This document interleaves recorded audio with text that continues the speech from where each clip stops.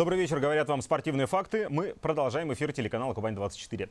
Начинаем этот выпуск с отличной новости. Новость мирового масштаба, которая к Кубани непосредственное отношение имеет. Чемпионат мира по боксу в 2019 году пройдет в Сочи. Такое решение приняла Международная ассоциация бокса. Планируется, что примет турнир «Дворец Айсберг». Кроме нашей страны, свои заявки на проведение соревнований отправляли Индия, Украина, Таиланд, Турция. Но выбрана Россия, Краснодарский край. Президент AIBA Чинг Куаву отметил, что Россия проведет мировое первенство на самом высоком уровне, поскольку страна имеет опыт и всю необходимую инфраструктуру. И с этим, согласитесь, сложно поспорить. Именно о боксе, кстати, и далее говорим. Сегодня стартовал очередной финал Всероссийской летней спартакиады учащихся России. В Славянске на Кубани собрались лучшие юные боксеры страны. Это и мальчишки, и девчонки. 10 весовых мужских категорий на турнире будет представлено, 3 женские. До 31 июля на ринг спортсмены будут выходить. На этот день назначены финалы. Добраться до них, конечно, все мечтают, все 200 участников. 10 из них представляют Краснодарский край. Среди наших ребят победители первенства Европы Анастасия Шамонова, Олег Жарков, а также чемпион страны Вартан Арутюнян. В общем, есть нам на кого надеяться, есть на что нам рассчитывать, следим. Ну а итоги в спортивных фактах, конечно же, будем подводить. А прямо сейчас подведем итоги другой дисциплины спартакиады учащихся России. Финал баскетбольного турнира также Кубань приняла. Принял Краснодарский баскетхолл. Именно в нем лучшие молодые команды страны за титул победителя сражались. И кому в итоге титул этот достался, Евгений Резник знает. Финал спартакиады домашний для краснодарцев, а болеют в зале за москвичей. Причем поддержать столичную команду гости приехали из Таганрога. Я приехала, потому что моя дочка общается в очень хороших отношениях с именно командой «Глории». И она попросила, чтобы мы сюда приехали на финал. В Краснодар я побоялась ее одну отпускать, пришлось ехать вместе с ней. Московские баскетболисты, кстати, не подвели. На паркете они чувствовали себя уверенно. Групповой этап прошли со стопроцентным показателем. В полуфинале разгромили Воронеж 105-26. А в решающем матче попали на хозяев турнира. Первые минуты остались за краснодарцами. Рывок 5-0 подарил зрителям надежду. На трибунах появился красно-зеленый баннер. Интрига, впрочем, довольно быстро умерла. До конца первой четверти игроки в красном смогли набрать лишь 6 очков. Москвичи же целых 28. В дальнейшем гости лишь увеличивали отрыв от соперника. Каждую 10-минутку столичные баскетболисты завершали как минимум с 15-очковой разницей. Итог 109-41. Шансов изначально не был, уверен главный тренер сборной Краснодарского края. Москва по этому возрасту собрала очень сильные команды. У них есть Тринта, есть Глория, есть ЦСКА. Они объединили в одну. А, и тяжело с ними конкурировать на самом деле, потому что они собрали ребят со всей России. А, это объясняется тем, что на прошлой спартакиаде по 2000 году, на которой тоже принимал участие, они очень сильно провалились, и от этого у них мотивация зашкаливала. Мотивированы были, конечно, и хозяева, но во второй раз подряд им досталось серебро. Бронза уехала в Воронежскую область. В матче за третье место представители этого региона обыграли сверстников из Самары. Евгений Резник и Артем Карпов. Кубань-24. Краснодар. Еще одна дисциплина спартакиада учащихся России. Финальные соревнования, которые в Краснодарском крае прошли, это пляжный волейбол. В Анапе, Витязево решающие игры всероссийских соревнований состоялись.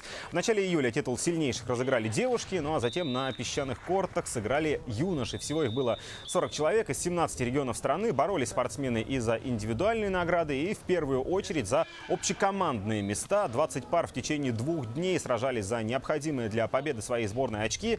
Захватывающим и интересным по накалу, например, например, получилась игра за выход в шестерку лучших между командами из Москвы и Воронежа. Если в первой партии столичные волейболисты обыграли соперника со счетом 21-12, то вот во втором воронежцы нашли в себе силы и сравняли счет в игре 21-18. Все решилось на тайбрейке, где москвичи оппонента разгромили 15-6.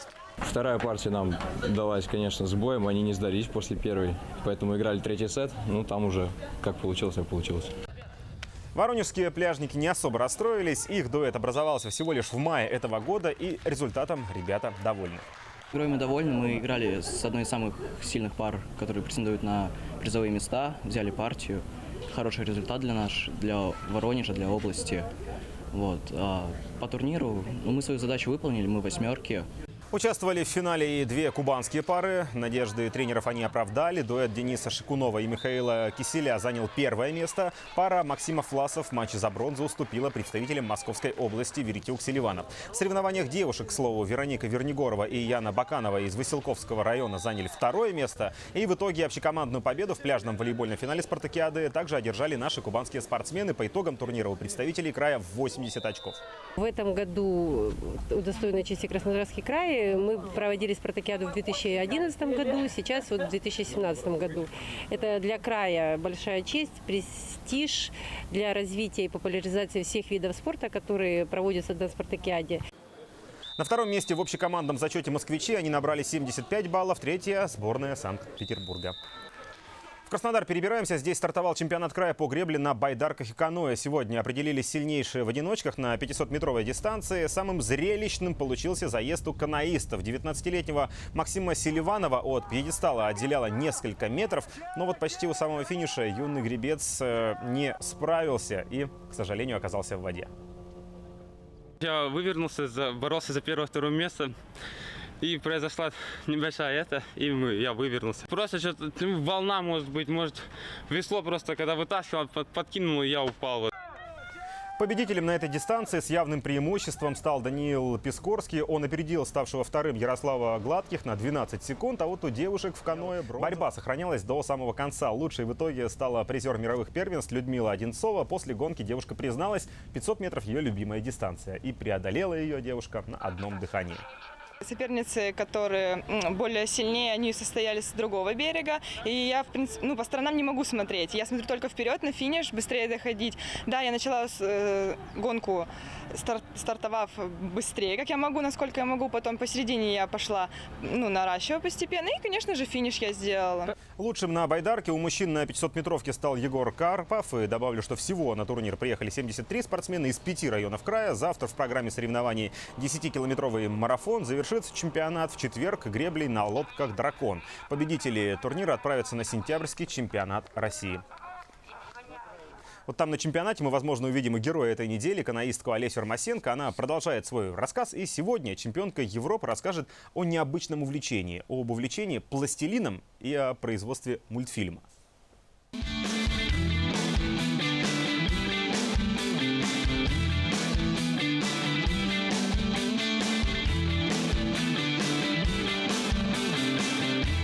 Была идея, да, как-то надо развивать наш вид спорта, особенно когда я увидела по телевидению, что женское каноэ, оно плохо развито, что не умеют грести девчонки, они не могут стать в ловушку.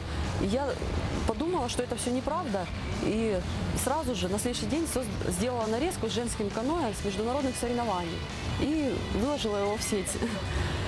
Вот. После этого я начала снимать свои тренировки, делать видеоролики. И когда закончились, э, закончился соревновательный период, я пошла в кафе тоже с друзьями. И мы зашли в пластилиновое кафе. Пили кофе, ели бутерброды. И нам принесли пластилин, а я думаю, что ж мне слепить? Ну что слепить? Только выиграла Европу. Вот, ну, слеплю я себя. Вот. Слепила лодку, слепила каноистку, похожую на себя в такой же форме. И потом думала, а дай-ка я сфотографирую. Раз сфотографировала. А потом думаю, дай-ка я сфотографирую на грибке. И потом, а давайте-ка сфотографируем в динамике. Там раз, раз, раз, раз, раз. Э, на захвате, на выносе на подкате. А потом я такая думаю, ну, наверное, я это все обработаю в компьютере и сделаю мини-ролик. Решила, что не хватает фотографий, слишком мало. Около, даже 50 фотографий это мало для динамики. В итоге у меня вышло около полторы тысячи кадров. Столько же у меня вышло брака. С утра до вечера. То есть без перерыва почти. У меня вот месяц точно без перерыва я над ним работала. Сам, сам мультик получился полторы минуты где-то.